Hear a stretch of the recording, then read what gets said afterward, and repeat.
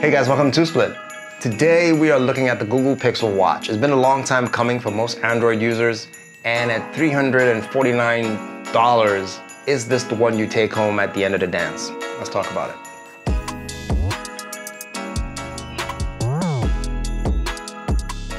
Okay, so for $350, it does some things well and others not so well. So let's talk about the good parts first, and then we can cap it off with the nasty things. Not so nasty. Maybe it's just me. You tell me at the end.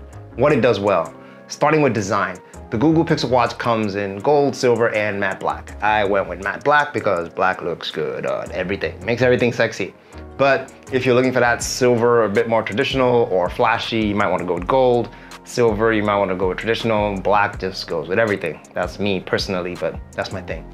It comes in only one size, uh, 41 millimeters. So if you have big wrists and big watches are your thing, small watches are not, you might as well just stop the video now and leave because it only comes in one size and this is what we're working with. One size, remember that. And in terms of what it does well, which is what we're talking about now, the design is pristine, right? If you're looking at this puck, it looks like a perfectly rounded Gorilla Glass and stainless steel puck, only interrupted by a physical rotating, like a physical crown right there. And that crown is tactile, but more on that later. And, and looking at it, it's just well crafted. It took some time to think it through. It looks great. If you can take the time to, you know, figure out how the lug system works and change your straps, you can get an even more traditional look or just swap out to a sport band like I have here for when you want to work out. Either way, works out for you. The screen can go up to a thousand nits so that you can see it clearly in daylight. If you flip this puck over, you're gonna have blood oxygen, ECG, and a heart rate monitor. That heart rate monitor just goes on and on and on and on. That's a great thing when you have act for accurate reading. So that's what it does well. It gives you very accurate heart rate monitoring for resting, working out, can tell you when you're in active burnout mode. That's cool. But still talking about the design here. The lugs, right? When you swap them out, you have to use this proprietary clicking system that Google has created. They claim it's like swapping a camera lens. Some people have, you know, whined about it being finicky and all. It's not, once you get it, I think once twice, for me personally, it wasn't that hard. I think it's cool. I think it's, it's, a, it's a good mechanism.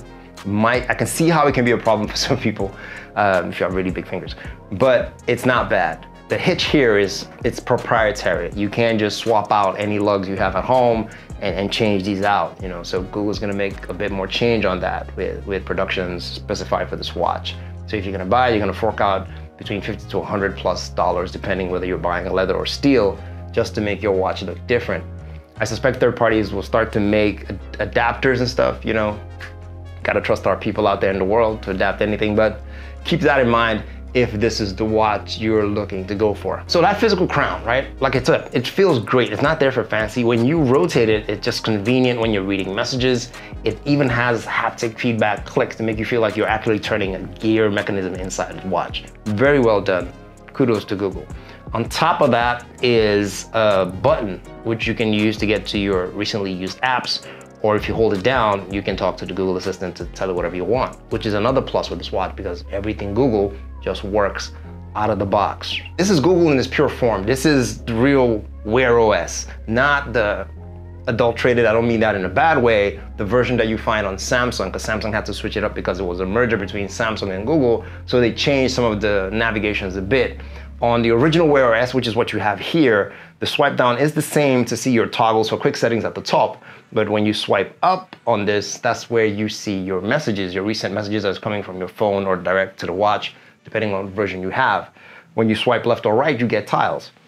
So whatever tiles you've, you've set as your primary tiles, workout tiles, heart rate monitor, you're gonna see that when you swipe left or right. The button, the crown button, when you hit it, it can take you to your list of apps. Basically everything the watch has to run. And like I said before, the button on top of that takes you to your most you know, recently used app, yada, yada, blah, blah. And you can use that main button as a back button. And you can just swipe back from any app or option you're in to go back like Android. So they, you know, that whole software integration works just nice. And this is where we start to sort of balance into things that could be better. They're good, but could be better. I talk about fitness tracking. On most other smartwatches, fitness tracking is predominantly resident on the watch. There's fitness tracking here, but it only gets good because of the bolt-on, and I say bolt-on of, of Fitbit, because Google bought Fitbit, and now they've integrated sort of Fitbit into the Pixel watch I say integrated because they're sort of trying to keep it separate, and you'll see what I mean in a second.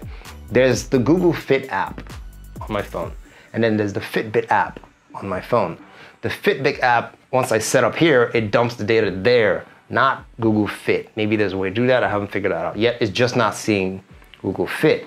And it's doing that because out of the box, this gives you a six month subscription, you know, for Fitbit, which gives you detailed fitness tracking, sleep tracking, which is pretty awesome, shows your REM sleep, yada, yada, blah, blah, makes suggestions, your training schedule, training tracking is all, this, all in there. Fitbit. What happens after six months? You're gonna have to fork out that 10 bucks or so a month. If you don't want to, you go back to basic fitness tracking. But what happens then? I'm not sure. Is it is it going to be forced to see my Google Fit, or am I just going to be forced to stick with the account I was forced to open on Fitbit? Well, I had one anyway. But so you're running Fitbit and you're running your Google Pixel. I think the integration could have been a bit better. So it's just one device. I know from a business perspective, it may not have made sense to try and kill that off. Fitbit has a big community, really big community. But there has to be a middle ground to the consumer who wants to buy this device and not have to buy another Fitbit device. Uh, but we can discuss in the comments below. What else could be better? I think the size could be better.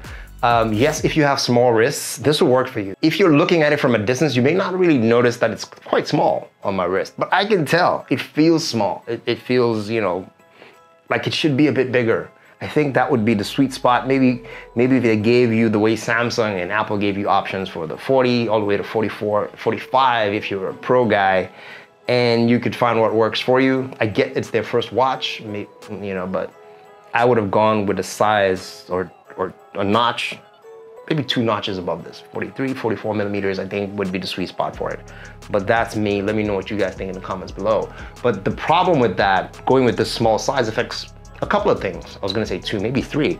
One is you need battery space. And without battery space, this watch suffers. The battery life is really bad. It's not really, really bad. It's okay, maybe like one really bad, not really, really bad. It's bad. Google says this can go up 24 hours. I've never gotten that, especially with the screen on. I'm trending at about 17. On, the, on some days I've done heavy usage, maybe 13, 15 hours. Uh, if you turn off the screen, yeah, you, you could totally do a full day. But if you're into sleep tracking, that means you're gonna have to charge the watch twice, either right before you go to bed or in the middle of the night so you can run the next day.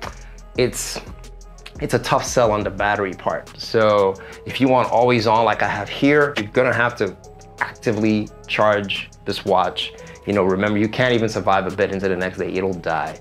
Uh, again, it's because of that space. The second thing the space affects is the speakers on the watch. This might not be a big deal for a lot of you who don't use the speakers on the watch, uh, but if, if you are looking for this watch and you want to ring or something, the speakers are really tinny, almost shrill if you're playing music. it's like, and, and again, drivers need space to, to push air.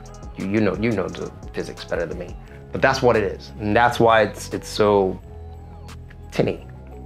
Thirdly, you have a small battery in a small space, but the watch is constantly taking your heart rate. That's good for accuracy, but that's bad for battery life. When you turn on battery saver mode on other smartwatches like Apple or, Samsung, the first thing they do is that they ping that sensor less because they know they're taking power from it. So the less you ping that sensor, the more power you save. That's not the case here. I don't, I don't think uh, Google got that memo because even when, when I tried sleep tracking, it's still measuring constantly. There are even widgets to show you your heart rate in real time.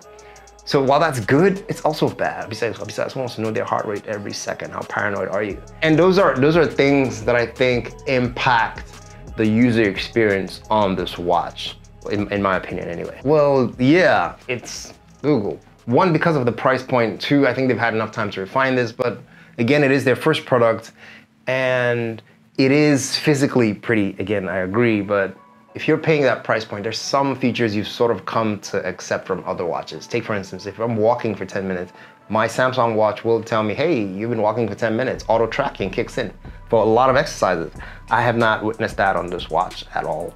Um, swim tracking is basically just a timer on this watch. you know, it doesn't, it's not counting the strokes or anything. If you're a swimmer, it's something you should be concerned about. It's just really a timer that you should, that you're gonna get on this versus what you have on the other premium smartwatches.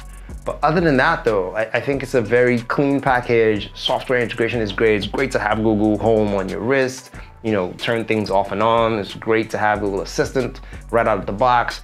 It's great to, you know, communicate with your phone whenever you need to. I say communicate loosely because I tried charging this thing conveniently on the phone. It, it, at first, it acted like it wasn't gonna charge, and then I tried it on the Samsung charger. It indicated there was power, but it wasn't charging. I tried it on another cheap charger, indicated there was power, but it wasn't charging. I put it on its own charger, and it charged up just fine. But I think it does charge up on the Pixel now. I, maybe I hadn't updated or something, but it's it's picky. Bottom line is what I'm saying. So you're gonna stay in the Pixel family. Or maybe that's what Google's trying to achieve, keep you locked into that ecosystem. If everybody's doing it, why not us? So bottom line, if you're really committed to the Google Pixel lineup, yeah, this is the watch for you, but I would say wait for the second iteration because this will not hit all the expectations you're looking for, especially if you're used to the other smart um, features you're getting from all the other smartwatches. Although it'll do all the fundamentals, music streaming is great. It has great space and everything you need to download your stuff and just pair, leave your phone at home and work that out. Uh, but I will struggle to recommend this wholeheartedly, knowing that there are other smartwatches out there that do it just a bit better. Uh, it's not enough to look pretty and pristine. Um, size, battery power, and a few Joe's whistles and bells here and there, I think make the difference of choice.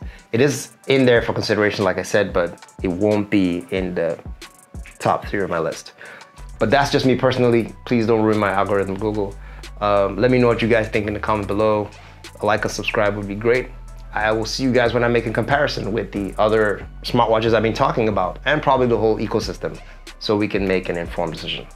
You guys take care.